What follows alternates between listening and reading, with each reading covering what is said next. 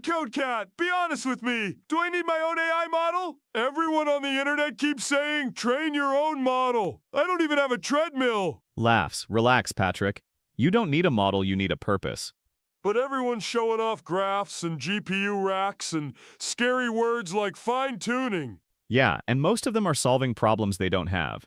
You only train a model if you have truly unique data that the AI has never seen before.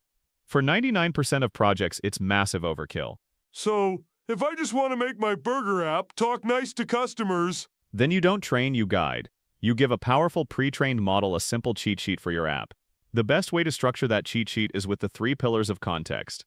Identity, who are you? Knowledge, what do you know? Rules, how do you behave? First, you give it an identity. You are Patty, the friendly and enthusiastic cashier at Patrick's Burger Palace. Second, you give it knowledge. Here is our full menu with prices and ingredients. Third, you give it rules. Never try to upsell a customer on fries if they've already ordered onion rings. so instead of raising a baby robot from scratch, I just tell a smart grown up one how I like my burgers and how to act in my restaurant? Laughs.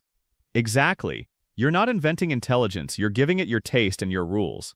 That's context over compute.